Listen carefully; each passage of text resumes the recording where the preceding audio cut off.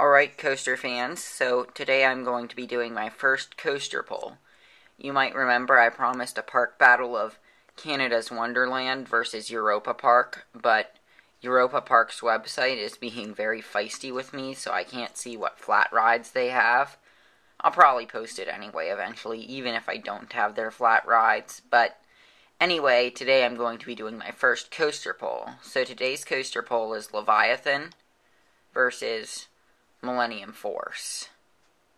Please leave in the comments which coaster you would prefer. Remember, you don't need to have ridden either of these coasters to vote, and please feel free to leave your honest vote.